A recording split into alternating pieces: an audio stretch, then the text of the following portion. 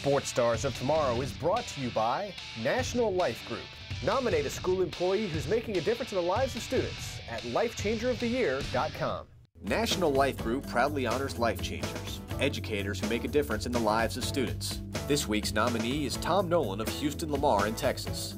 He's been coaching since 1975, winning over 300 games, highlighted by a trip to the 5A Division I state championship in 2012. Hundreds of his players have received college scholarships, with a handful reaching the NFL. That's not the only reason we're here. We're here to help kids, and uh, football is a great vehicle, or uh, you know, it's a great hook. You know, you can hook them with football, make them come to school every day, make them do their schoolwork, and uh, by the time they're 16, 17, 18 years old, they realize that that's really not all that hard to do, and uh, maybe they'll learn traits and that they'll uh, you know take with them the rest of their lives.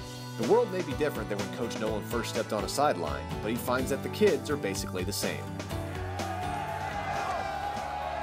You know, they're they're much more, you know, hip to hip to what goes on in the in the world around them, but they're still kids and they still have the same problems. Still nervous about asking Sally for a date, or they're still looking for, you know, structure in their life.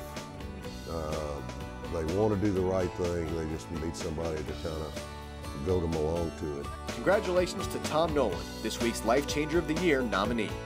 To nominate your own Life Changer, go to lifechangeroftheyear.com.